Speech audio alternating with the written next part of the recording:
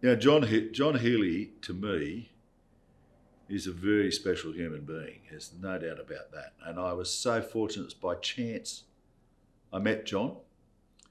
Um, when I first came here, uh, I was I was teaching at Marist Parramatta, but even when I was a little boy, I followed Parramatta uh, Eels in rugby league, and I still love them and still follow them. And uh, but when I came to Joey's, I I used to um, take the boys out on Sundays in the college bus. We'd park behind old MC, and um, we'd walk over to Cumberland Oval, the old Cumberland Oval, and uh, get a ticket, and then we'd go and watch Parramatta play. I used to take a, a milk crate from Carrot Canyon because uh, we'd get there late, and I used to stand on the milk crate at the back of the, the crowd on the hill and watch the game, and it, it was, it was special days. But one, year I got in there, and um, there was an announcement. I'd only just arrived, and the boys had gone in, and I've got my milk crate, and we walk up, and I just got on up the top of the hill and stood on the milk crate, and this announcement came over the PA. Would Brother Anthony from St Joseph's College please report to the microphone? And I thought, oh no, they've only just arrived. What what could they have done wrong, you know? Anyhow, I get down there, and there was a lovely chap. He's since passed away. Uh, he was a legend of Parramatta, a bloke called Joe Joseph. He was he was the uh, all the fitness masseur and all that sort of stuff. A very large man, and um, I got to the gate, and, and this Joe Joseph, I'd only ever seen on TV, um, he came to me and uh, said, uh, You, Brother Anthony? I said, Yes. I said, What's happened? And he said, Oh, look, um, just go and sit out there on that seat on the sideline, and uh, uh Peter Ferguson will be with you shortly. And Peter Ferguson was Justin's father. Justin was in year nine at the time, and uh, he was in my history class. But Peter was the doctor for Parramatta. And somehow he knew or he'd heard that I was taking boys to the ground, so he thought I'd give me a seat on the sideline. And anyhow, I went out there and I sat down, and this is a privilege. And just before the game started, Peter arrived. And uh, then, as the game started, Terry Fearnley and John Healy arrived. John Healy was the conditioner for Parramatta. And uh, he sat down, and, and I sat next to him, and that's where I met him. And I, I met him a number of times after that at Parramatta games. And then one day I saw him in the corridor uh, upstairs. And I said, Oh, John, what are you doing here? And he said, Oh, my boy is starting. And I thought, Oh, that's wonderful. And Michael started that, that year. And then a little bit after that, uh, they had the new parents' uh, barbecue. Um, you know, on the Saturday night, they have the function to welcome new parents. And John was there and he said, Look, I would love to uh, be able to bring Parramatta out here to do some training, to use the facilities over at the park one Sunday. And I said, Oh, John, that'd be lovely. We'd, we'd be happy for that. But as long as our boys could do it with them. And he said, Oh, that'd be great. So uh, we, took, we took our rowers over because uh, it was, it was uh, February. The winter season hadn't started, and, and we went over to the park and uh, he had people like Peter Sterling, Brett Kennedy, uh, Kenny, uh, Steve Ella, Mick Cronin, Ray Price. They were incredible. Bob O'Reilly, Arthur Beetson. They were all in the team. And our boys were mixed up with these Parramatta legends, and they had the first Healy session. It was with John Healy, Parramatta Eels, and the Joey's first and second eight. And it was absolutely fantastic. And then Jeff Swagger was coaching the first at the time. And uh, and that was 1980, and we didn't have a great year. And then the next year it was the centenary year, and I know Jimmy Gray and I were trying to convince Jim, uh, convince Jeff to get John Healy to condition the first, and uh, anyhow he did, and of course we won. And John, John conditioned the first 15 for 13 years. Uh, sorry, 30 years, not 13, 30 years. And during that time, there were 19 premierships. It's an extraordinary legacy. They talk about coaches. Uh, his, his legacy was unbelievable. And the messages he, he, he conveyed to the boys, uh, and still does, right? Um, just amazing. Uh, I mean, I, there's so many things, in, you don't remember them all when you ask a question like that. But the one thing I used to always remember is he used to insist that they ran through the tape. Um, you know, he'd say, "I want you to go from the um, 50 metre line to to the try line." You know, at 75 percent. And but what he'd want is that you ran 75 percent from halfway right through to the try line. That you didn't, as you got to the try line, start to slow down. That it became 60 percent. He was always you go through the tape and then you change, then you slow down. And um, you know, running through the tape with John uh, at whatever was required uh, was the way it had to be, and he was fantastic. He, he also he read body language really well. Um, sometimes he'd say they need a bit more today, or they need a bit less. You know, he, he didn't uh, have GPS monitors and heart rate monitors or anything else like that. But he was so skilled in his observation uh, of boys. And then the other wonderful thing he always did was just the little private conversations he might have had with a boy that gave him great belief in himself and confidence in his ability to be able to go out there and do his best. He was extraordinary.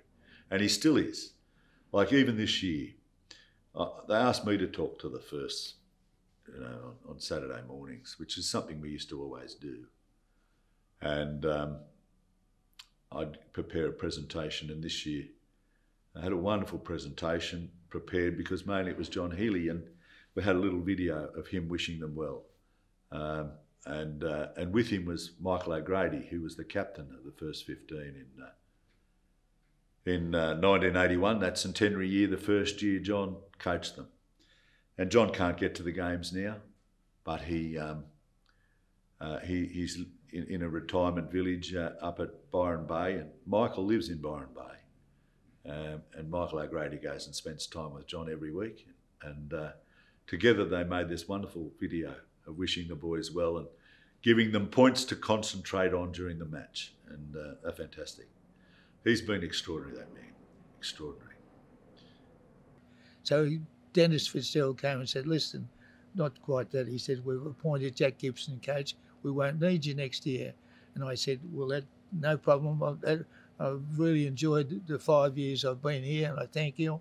And I've made a commitment to Joey, so it works out really well. So I had a fortnight to go, and I had four training sessions. And for two of them, for the first two, Jack Gibson came, never spoke to me, sat over there and watched everything. And then on the third night, he came to third night. That's right. The third one, he came to me and said, "Listen," he said, "You've done a good job up here." He said, "I'd like you to stay."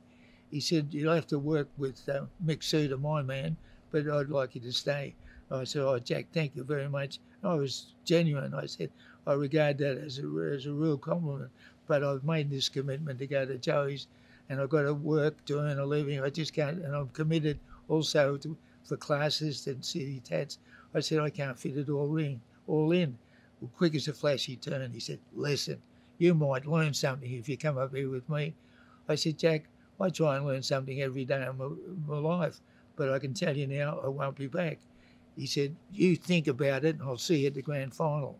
So I said, Jack, if I see you at the grand final, uh, I'll give you the same answer I'll give you now. Thanks, but no thanks.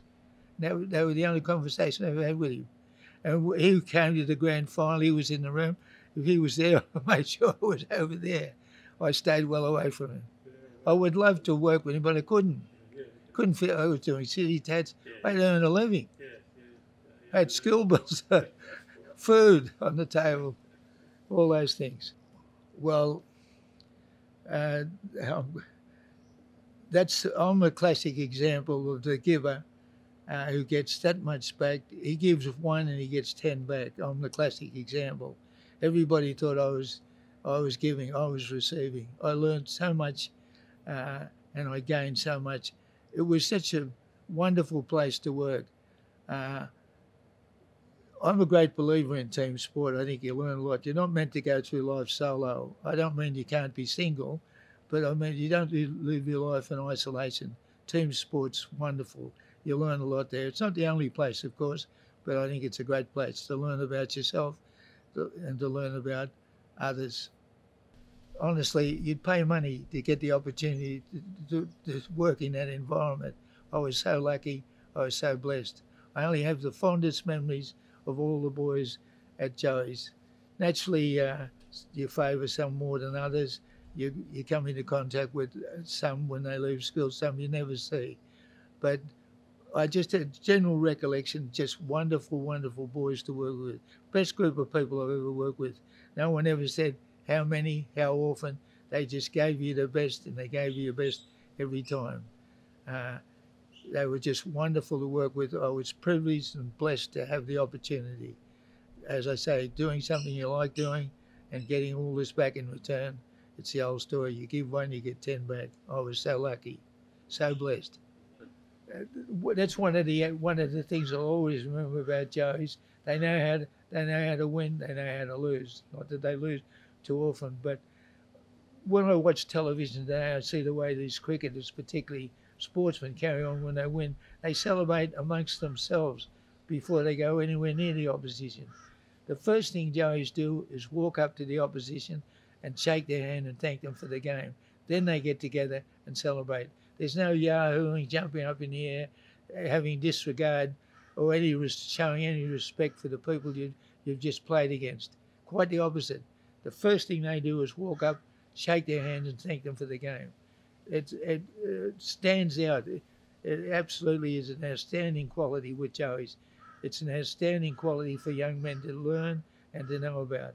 Because I tell you what, they won't get it from the heroes on the on the TV and on the sporting scene. They go the other way. Well, when you're preparing for a game of for a game of football, the first thing you've got to do is make sure you've got the right attitude.